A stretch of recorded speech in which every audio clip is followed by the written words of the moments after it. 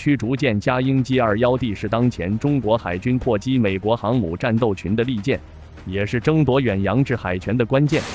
作为一个既古老又现代的课题，制海权的内涵随着海战实践不断丰富发展。美国海权学派奠基人马汉通过对风帆舰队时代、蒸汽铁甲舰队时代的欧洲海战历史的分析，得出了通过海上决战才能夺取制海权的结论。以往海战中，交战双方面临主要威胁均为对方水面舰艇兵力，制海权争夺主要在海洋平面进行，舰炮是双方作战主要武器。马汉是大舰巨炮至上主义者。他认为海军拥有大舰巨炮，对于赢得制海权具有决定性作用。受马汉鼓动，西方列强于19世纪末20世纪初纷纷加入海军军备竞赛，企图通过建造优势吨位数量的军舰压制对方。这一阶段，以大口径火炮和厚重装甲防护为标志的蒸汽铁甲战列舰被列强竞相追捧。第一次世界大战时期的日德兰海战，第二次世界大战时期的大西洋海战、太平洋海战等，也都是舰队海上决战。就在战列舰大行其道的辉煌时刻，航母横空出世，改变了海上决战的兵力构成，制海权争夺开始呈现立体化态势。太平洋海战中，美日首次大规模运用航母编队争夺太平洋控制权。冷战期间，美苏两极争霸。双方建设海军舰队的基本构想仍然是能够执行远洋舰队决战任务。至今为止，航母已经成为制海权作战的绝对主角。毫无疑问，美军航母战斗群有令人生畏的打击力量。以尼米兹集合动力航母为例，其可配备二十五架 F/A-18E/F 战斗机，二十五架 F-35C 舰载战斗机。四至五架 EA-18G 电子战机和四架 E-2D 预警机。三十年前，美国只要动用一艘航母，就能在中国沿岸耀武扬威，而不会有任何危机感。但是，随着各种导弹逐步运用于海战，海上作战面貌发生了极大的变化。导弹具有远距离非接触、高精度打击的明显优势，而且发射平台日趋多样化。既可以装载于各类舰艇进行由海对海打击，也可以装载于作战飞机实现由空对海打击，甚至滨海陆岸兵力完全可以对距岸上千公里的海域实现有效拒止，达成以陆制海效果。经过三十年反介入区域拒止的发展，中国部署了大量弹道反舰导弹，再加上强大的现代海空军。已经在一千八百公里的近海取得了巨大的主场优势，美国海军将面临在重大冲突时被挫败的危险。所以现在美国海军在西太平洋的军事演习中，都是动用三至五个航母战斗群才略有信心应对中国全方位多领域的挑战。如果中美进行远洋海上决战，解放军的以陆制海将无法发挥作用。中国海军的以空制海暂时无法抗衡美国海军，但在天基侦察体系支援下，零五五驱逐舰加鹰击二幺 D 的以天制海却可以让解放军获得巨大的非对称优势。在这种非对称优势下，追求绝对制海权已不是必然要求。破击体系成为基本作战指导。与歼灭战相比。通过精确打击瘫痪对方作战体系，获得局部的相对优势的制海权，不仅同样能够保障战局顺利进行，而且成本代价更低，更利于控制战局。在远洋海上决战中，最最最关键的就是获知对方的位置，而暴露位置就等于死了一半。在二战的中途岛海战中，无论日本还是美国。航母战斗群最重要的任务，就是释放侦察机，四处侦察敌人位置，发现后派战斗机前去轰炸。毫无疑问，要在茫茫大海中发现看似庞大的航母战斗群，绝非易事。比如1982年北太平洋八二演习中，美军的企业号和中途岛号两个航母战斗群。在严格的无线电静默、高速机动以及精巧的航线选择之下，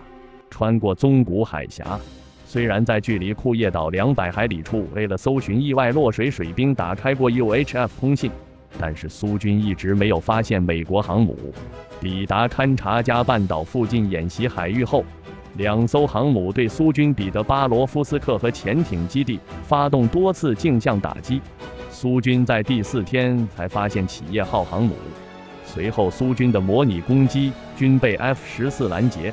演习持续一星期。直到演习结束，两艘航母汇合时，苏军才知道中途岛号航母的存在。这表明，即使在冷战时期的高压状态下，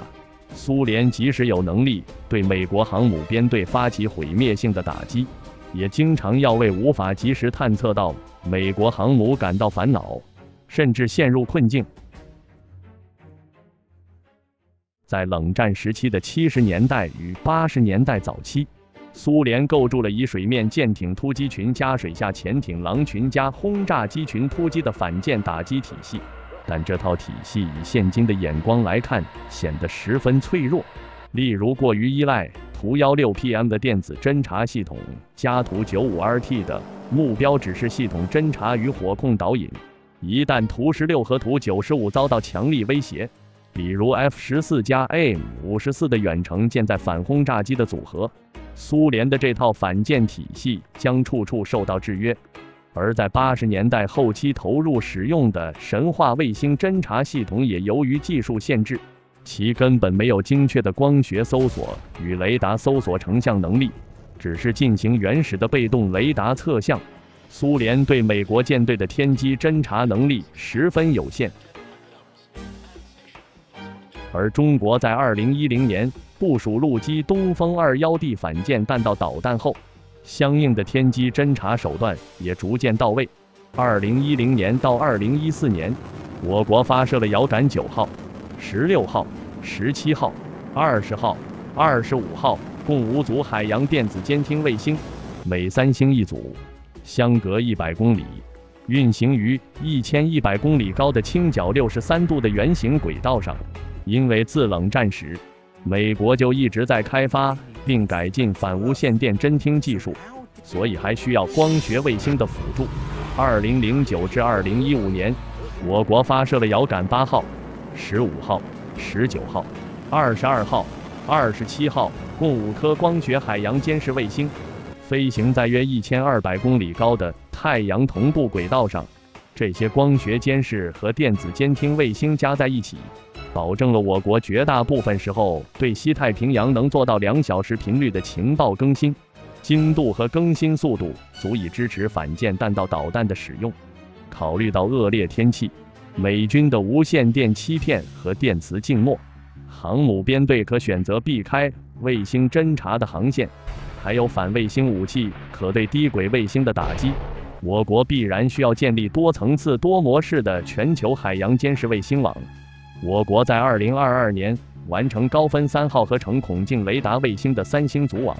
支持 C 频段多极化，最高分辨率达到一米，最大成像幅宽达到六百五十公里。特别是动目标检测和洋流测量模式，可以实现高精度运动目标检测和海洋流场测量，是国际上综合性能最高的 C 波段合成孔径雷达卫星。我国还发射了光学小卫星群“吉林一号”系列，截至二零二三年八月，吉林一号共发射了二十六次，在轨卫星数量一百三十一颗，可对全球任意地点实现每天三十五至三十七次重访。二零三零年计划完成一百三十八颗卫星的组网，更新频率降到十分钟，对全球海洋的监视密度首次超过美军。其中的内蒙古一号卫星是国际上幅宽最大的亚米级光学遥感卫星，成像幅宽大于一百五十公里，全色分辨率零点五米，多光谱分辨率两米。这些卫星有很多都是几十千克级别的小卫星，成本甚至比反卫星导弹还低。即使美军不计工本把它们打下来，我军使用基于东风三十一研发的快舟快速反应火箭。可以迅速而廉价地补充战损，同时这些卫星还搭载红外成像仪，因此夜间也能侦察。低轨道卫星有重访时间的问题，地球同步轨道卫星则可以实现持久性监视。从2015年开始，中国发射了三颗地球同步轨道光学卫星，分别是高分四号、高分十三号和高分十三零二号，面阵凝视方式成像，最高分辨率为十五米，是目前世界上空间分辨率最高、幅宽最大的地球同步轨道遥感卫星。2023年12月15日。采用整流罩加长百分之五十的长征五号运载火箭，中国向地球静止轨道发射了遥感四十一卫星，其初始转移轨道近远地点为一百七十六三万五千八百一十二公里，轨道倾角十九点五度，成像镜头直径达到了四点零三米，是最大单片镜头的太空望远镜，其光学分辨率接近二点五米。除了这些光学遥感卫星外，中国还在地球同步轨道上运行着一颗陆地探索四合成孔径雷达卫星，该卫星于二零二三年八月发射，是全球最大的合成孔径雷达观测卫星，也是世界上唯一一颗带有合成孔径雷达有效载荷的地球同步轨道卫星，其分辨率为二十米。未来几年，中国将计划使用量子成像系统卫星来实现地球静止轨道一至两米的分辨率。考虑到中国从五十米的只有分辨率到二点五米，只用了不到八年的时间，毫无疑问，中国迟早会实现这一目标。航母长达几百米，其航行尾流绵延达几万米，航母舰队铺开方圆几百公里，全球满打满算一共只有十几支航母舰队，中国已经可以毫不费力的全天候、持久性和近实时的探测和跟踪美国和盟国海军部队。不仅是舰船，还包括战斗机和轰炸机等舰载武器。此外，虽然隐形技术可以帮助飞机躲避雷达探测，但隐形战机在光学传感器面前无处可藏。同时，将来自不同卫星的数据与训练有素的人工智能算法进行配对，哪怕是弱人工智能，也会自动并加速识别解放军感兴趣的物体。比如美澳两国组织的有史以来规模最大的联合军演“护身军刀二零二三”，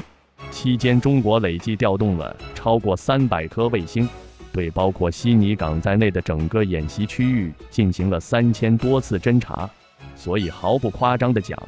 美军航母在母港就已经被解放军跟踪锁定了。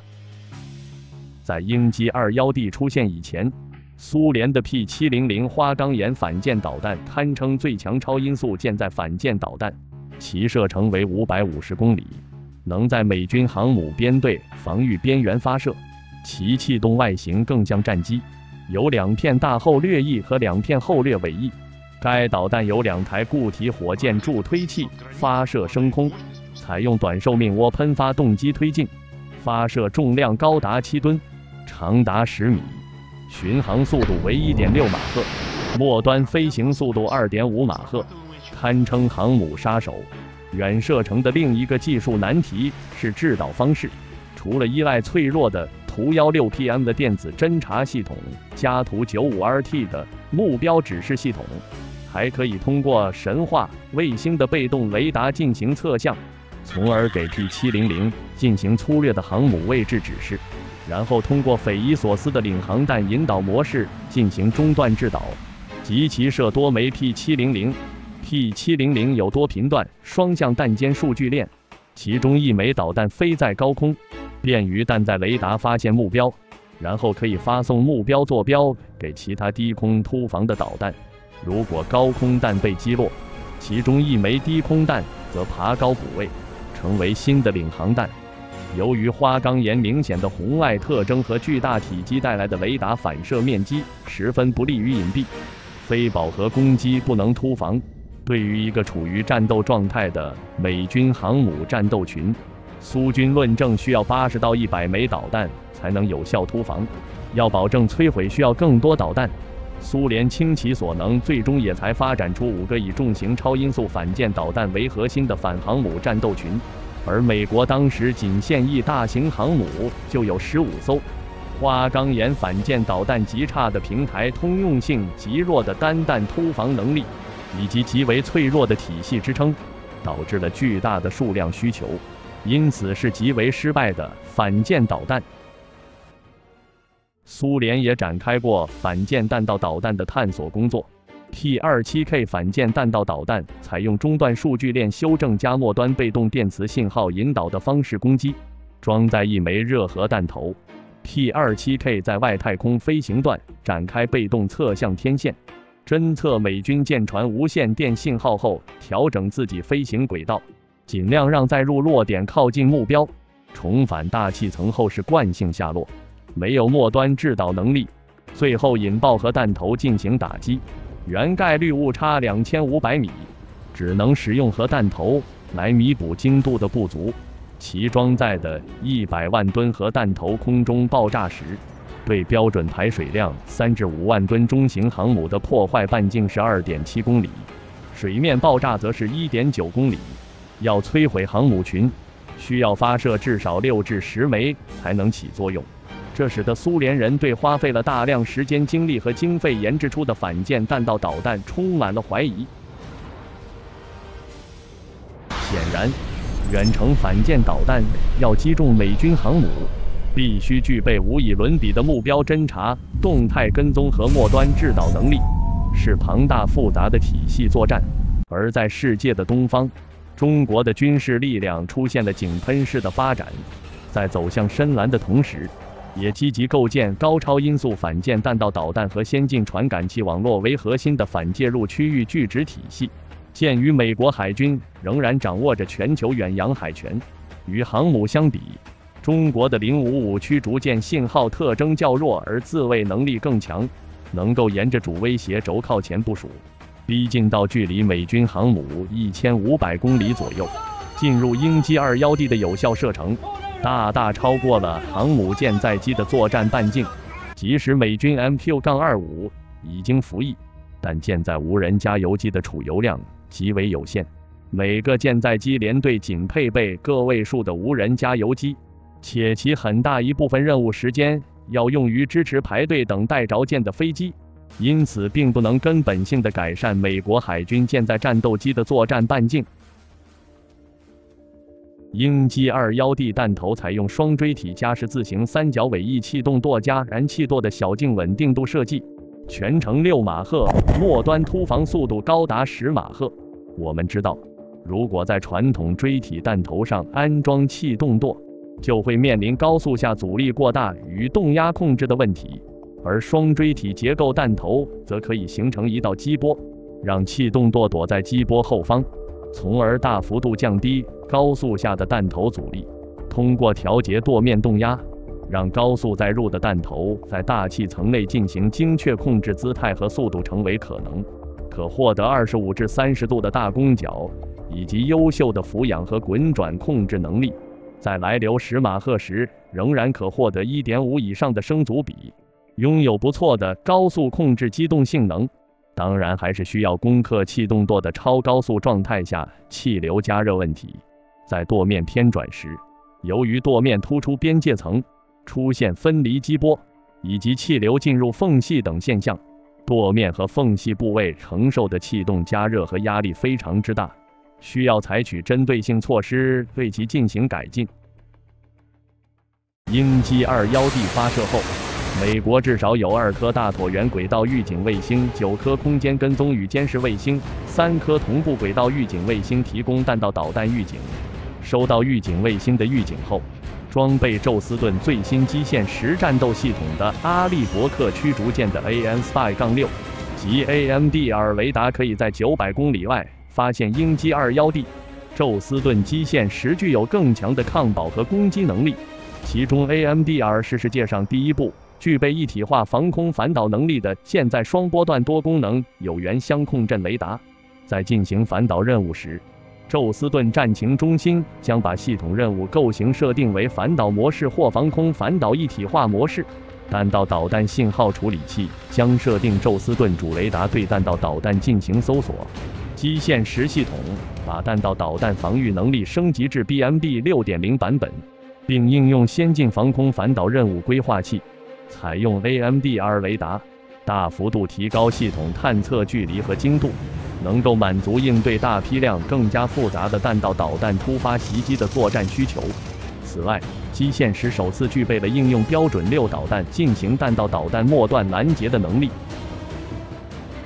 宙斯盾首先引导标准三导弹升空拦截。标准三导弹的第一级固体火箭发动机 Mk72 将点火发射，接收来自发射舰的中继制导指令，并由弹载自动飞行控制仪结合 GPS 系统生成飞行控制指令，进行航路修正。标准三的核心部件是轻型大气层外动能拦截弹头，也就是 LEAP，其头部装有一个前视红外传感器，用以定位目标。其尾部还装一个推力变轨控制系统，靠自身的高速产生的强大动能，以直接撞击方式摧毁目标。动能弹头的撞击动能至少为一点三亿焦耳，被其击中就相当于被一辆以六百英里每小时速度行驶的十吨重量的大卡车正面撞击。但是鹰击二幺 D 由于采用机动变轨技术，标准三的 LEAP 弹头。对鹰击二幺 D 的飞行轨迹预测误差将大幅度增加。另外，标准三的跟踪距离只有两百五十公里，这个距离已经是鹰击二幺 D 重返大气层十五秒后，所以单价接近两千万美金的标准三导弹几乎是无效的，除非阿利伯克驱逐舰大幅度前置于航母部署，否则来不及在大气层外拦截鹰击二幺 D。不过这样一来，阿利伯克驱逐舰又会成为鹰击二幺 D 的首要打击目标。此时，鹰击二幺 D 弹头已经飞至距离航母直线距离两百二十公里、高度九十公里的位置。弹头结束高空制导段，进入黑障飞行阶段。等离子体会保护弹头不被雷达发现到五十公里的高度。但是，鹰击二幺 D 可以克服黑障。与天面地球同步轨道通信中继卫星实现双向数据链，并以空气舵来调整弹道。其弹头前端喷出含有氢电物质的液体或气体作为出汗剂，可以降低等离子体壳的温度和电子密度。通过卡波段进行通信，这个波段的电磁波超出了黑障的吸收截止频率，并且能够形成更集中的波束。可以穿透等离子体屏障。鹰击二幺 D 俯冲至三十公里高度，美军将发射标准六导弹。标准六是美国雷神公司研发的新一代多用途导弹，配备了 AM- 杠幺二零空对空导弹的主动雷达导引头，最大射程高达四百公里，但是只能对三十公里高度下的飞机和导弹进行拦截。这款导弹最大的假想敌是东风二幺 D 或者鹰击二幺 D，但是考虑到鹰击二幺 D 末端飞行速度要比标准六高得多，同时还具备末端动力和机动能力，因此标准六防空导弹能否成功拦截非常值得怀疑。新的标准六 Block EB 已经在研发当中，美军声称其能达到高超声速。鹰击二幺 D 飞行的十二分钟里，以全速航行的航母战斗群已经使出最初定位的位置十点八千米，加上最初的定位误差及导弹制导误差，误差共有十五至四十二公里，刚好处于弹头末端雷达导引头二十五至四十公里搜索半径之内。鹰击二幺 D 突破了透波罩严酷烧蚀引发的末端制导致盲瓶颈。通过弹头锥形减速烧蚀面旋转协同控制技术，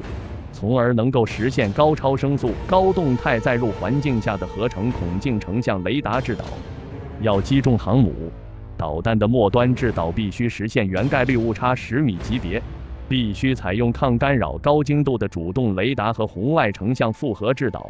对于几乎是从航母正上方冲下来的弹头机载雷达来说，航母甲板。以及甲板和舰岛之间角反射器效应带来的信号特征极其强烈，而 CS 高达几万到几十万平方米级别。在红外探测方面，将红外导引头的光学窗口开在弹头侧面，避开加热最猛烈的弹头尖端，同时通过拉瓦尔微喷管喷射三马赫高速冷气，形成气冷膜。导弹表面即便是一两千度高温。也可以实现红外探测和图像匹配制导。在高度二十公里的位置，弹头将通过小型火箭发动机进行加速冲刺，以十马赫的速度开始垂直俯冲，并通过燃气舵和空气舵进行不规则的摆动突防。这时，美军的驱逐舰还有机会以每秒一枚的速度发射十二枚标准二防空导弹拦截。不过，鹰击二幺 D 弹头的速度是标准二防空导弹的三倍，而且标准二采用气动舵控制，机动性也远远跟不上鹰击弹头的燃气舵。美军航母战斗群还有一道无形的电子战防线——宙斯盾基线十系统，应用了 SEWIP Block 三新型电子战系统，采用了功能更强的宽带数字接收机。对舰艇的电子战能力进行了革命性的升级，可干扰反舰导弹的攻击。历经数十年的服役，被证实可靠度极高，平均失效间隔高达八万小时，可以主动发射干扰波束，使得反舰导弹导引头无法工作而坠海。同时，主动制造假信号特征，并迅速将假信号特征转移到主动干扰弹上，诱骗反舰导弹飞离目标。但是，美军舰载电子战系统不属于舷侧，假想敌是掠海攻击的反舰导弹，对于垂直俯冲的复合制导的鹰击二幺 D 几乎是无效的。如果拦截失败，拉姆进程防空导弹和密集阵还能最后一搏；如果也拦截失败，那么重八百公斤的鹰击战斗部就会立即击沉美军航母。